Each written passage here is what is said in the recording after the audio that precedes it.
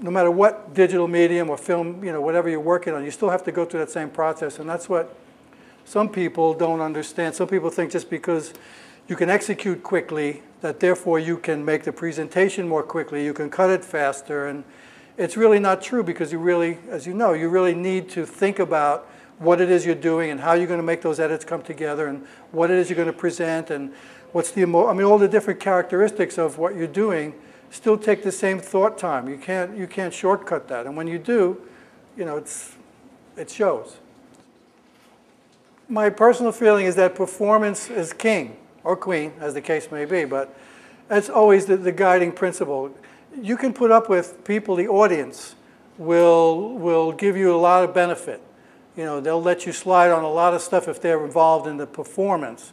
Something that's fluid and going nicely, but somebody says something that just sticks in their craw, doesn't really uh, ring true, they're going they're gonna take you to task for that a lot more than they'll take you to task for a jump cut if he had the cigar in his mouth or he didn't or the hand was here or there. So I would say you must always, always use the performance as your guide and let the audience be drawn in by that. And if you're successful at that, I don't think you have to worry about the other stuff too much.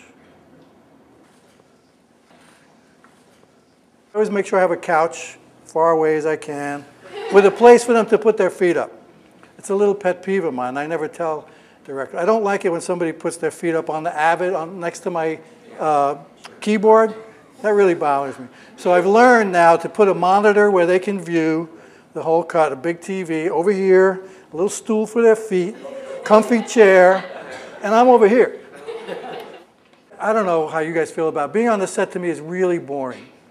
I mean, basically because I'm not working when I'm there. I'm just kind of hanging out, watching, and, and, there are times when you go to the set, possibly with a scene, and you, and you look at it at lunchtime with the director, the producer, or sometimes an actor, and discuss whether or not uh, a piece, uh, something could be shot to enhance the story or, or enhance the, uh, the information that we're getting from the scene. And that happens once in a while, but not, but not that often. So uh, the director's vision is what we as editors are trying to fulfill and trying to bring out. And that's our job and our craft and our talent. That's what we want to do. So I usually, I wouldn't, I wouldn't uh, impose myself until I've seen what the director is presenting.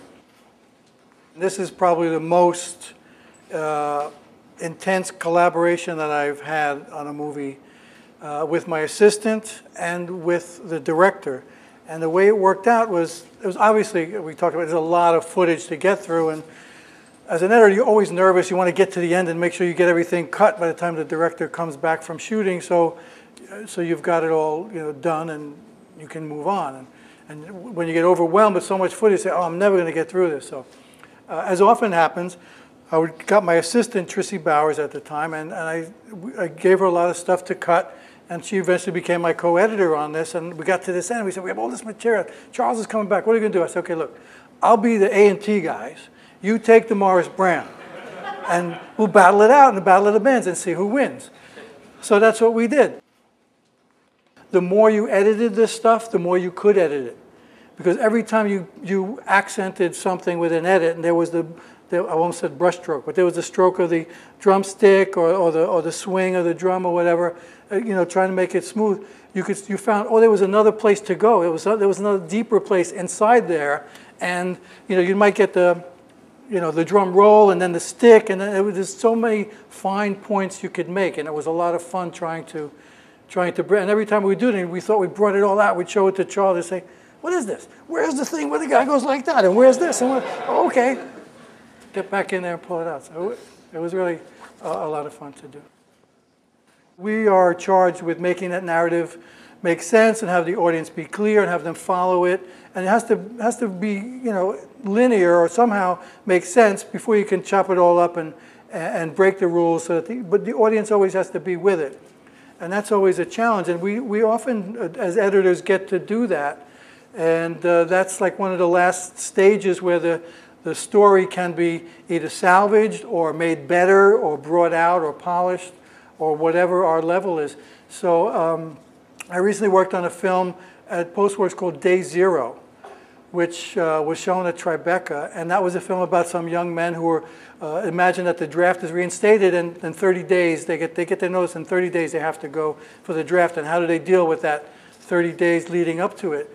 And it was a, it was a situation where the, the script had many, many, many scenes, way too many scenes, way too many scenes, and they were all great. And the writer, who was a producer, so he was in the editing room uh, several times, was very fond of all of those scenes, as, as many writers are, and they don't want to lose anything. And the result was the reason why the film wasn't really making enough narrative sense, and us, the film audience, was not engaged enough in the movie because it was all over the place. And so we were charged with trying to condense it and somehow give that narrative more focus at the same time maintaining the writer's vision and the director's vision and um, I like to think that was one case where we successfully did that. Took something that looked like somebody just took all the cards and threw them up in the air, and we sort of gave it a, little more focus. So that was, it's kind of satisfying when you, when you get to do something like that.